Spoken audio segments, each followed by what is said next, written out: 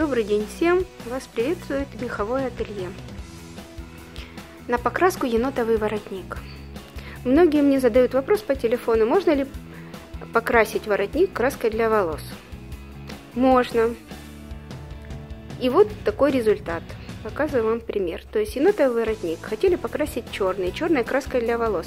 Но на самом деле он коричневый на данный момент. То есть не черный, он коричневый, а вовнутрь она не покрасилась. То есть покрасилась сантиметра 4 верхней ости, а подпуш просто она набивная у енота, и, естественно, краска сюда не прошла. Вот как это смотрится вообще на столе. Видите, то есть часть покрасилась, часть не покрасилась. Тут подпуш очень забитая. Естественно, оно покрасилось только первые 3-4 сантиметра. И так по всему воротнику. И оно распадается и, конечно, смотрится некрасиво. Но краска взялась для волос. Не черным, коричневым тоном, но взялась. Видите, это миздра. То есть где-то ее вымазали, где-то она осталась еще красной. Вот, такой вот результат. То есть кто-то может покрасить и дома, ему нравится такой внешний вид.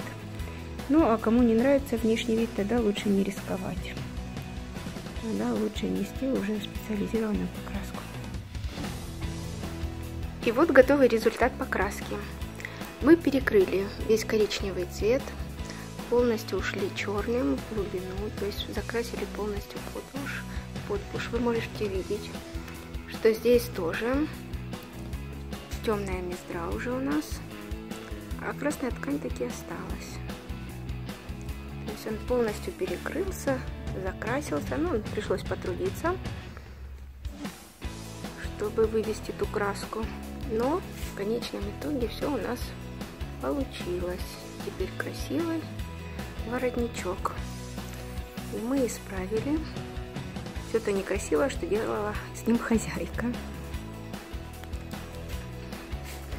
что кому нравится наша работа, ставьте лайк и подписывайтесь на наш канал. До новых встреч!